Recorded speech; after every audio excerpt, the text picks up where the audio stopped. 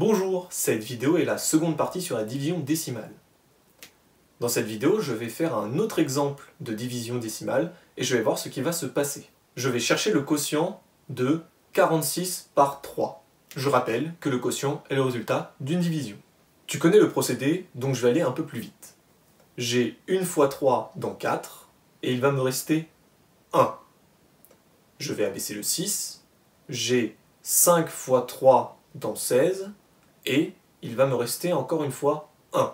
Je vais donc passer dans la partie décimale de 46, en ajoutant la virgule à mon quotient, et en abaissant un 0. Je vais donc avoir 3 fois 3 dans 10, il va me rester 1. Je vais abaisser un nouveau 0, j'ai une nouvelle fois 3 fois 3 dans 10, et il va me rester une nouvelle fois 1. Je rabaisse un 0, j'ai encore une fois 3 fois 3 dans 10, et il me reste encore une fois 1. Ici, on remarque que le procédé ne s'arrêtera jamais car le reste est toujours le même et il se répète. Je vais donc avoir un quotient qui ne va pas être un nombre décimal car il aura une infinité de chiffres après la virgule.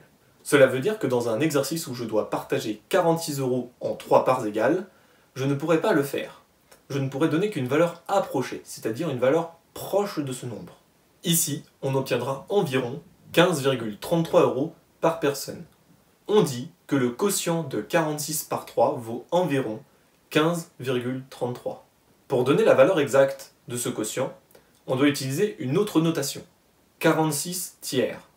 Tu l'auras peut-être reconnu, il s'agit d'une écriture fractionnaire. Et c'est d'ailleurs pour cela que les fractions ont été inventées.